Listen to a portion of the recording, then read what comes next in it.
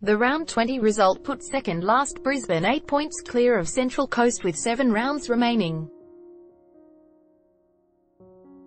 Central Coast finished with 9 men and played the last 28 minutes with 10 after Aiden O'Neill was shown a second yellow card for dissent.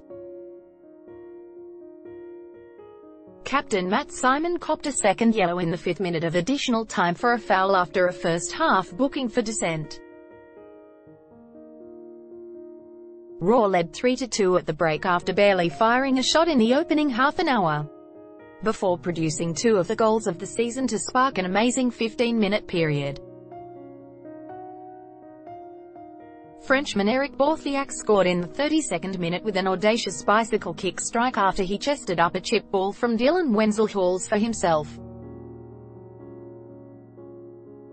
Spaniard Alex Lopez then hit a cracking volley in the 38th minute but the Mariners responded two minutes later. Connor Pain scored with a well-placed header off Matt Millar's cross for 2-1 and he was then denied in an equaliser in the 40th and 41st minutes. Brisbane struck next when Dane Tobias Mikkelsen beat two defenders to lob Ben Kennedy with a header off Bautheac's cross in the 45th minute. Central Coast capped a frantic finish to the half when O'Neill beat Jamie Young with a driving strike in the second minute of injury time. Lopez scored his second in the 54th minute with a low shot through the legs of a defender to restore a two-goal buffer.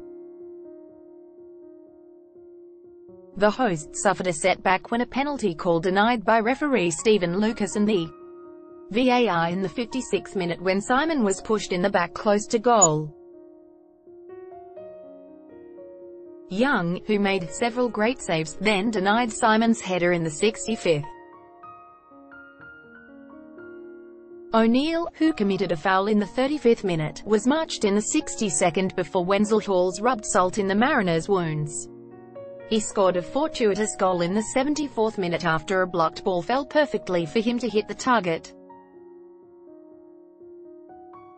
Substitute Jordan Murray pulled back a consolation goal with an 82nd minute header.